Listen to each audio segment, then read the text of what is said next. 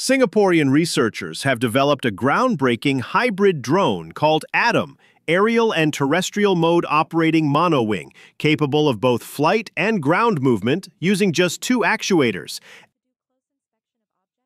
Atom by Airlab features a unique monowing design that allows vertical takeoff, bidirectional spinning flight, and energy-efficient gliding on land.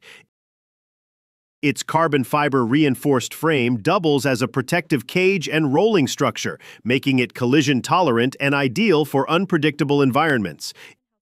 In ground mode, it can operate for 45 minutes on a single charge, while flight time averages 5 minutes.